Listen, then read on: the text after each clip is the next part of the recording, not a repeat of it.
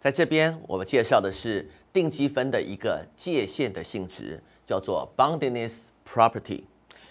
那么定理的内容是这样的：f 的话呢，它是一个在 a、b 之间可以积分的一个函数。那么 m 的话呢，是 a、b 之间 f 的最大值。小 m 的话呢，是 a、b 之间 f 的最小值。那么我们这个积分函数的话呢，会夹在大 M 乘上 b 减 a，小 m 乘上 b 减 a 之间。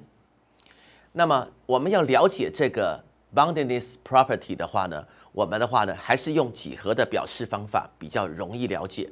来，我们来看看它的图。现在我们来了解一下这个图，这是 f，f 的话呢是这一条线。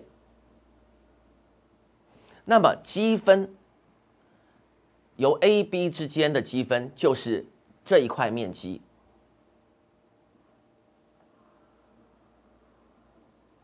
我们来看看这一块面积，这一块面积，那各位同学看这个地方，我就直接写了这一块。面积就是由 A 到 B。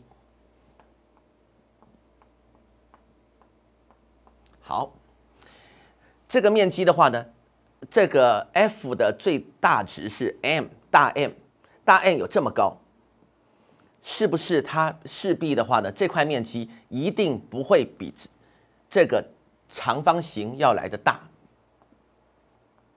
m 乘上 b 减 a，b 减 a 是这一段。高度的话呢，这个叫做大 M，所以的话呢，它势必的话呢，会小于等于大 M 长乘上宽。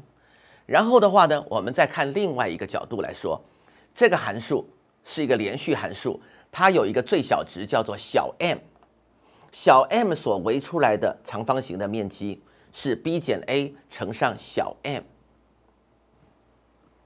势必的话呢，它会夹在这两者之间。那么这个性质的话呢，我们在微积分基本定理的时候的证明之中，我们会用到。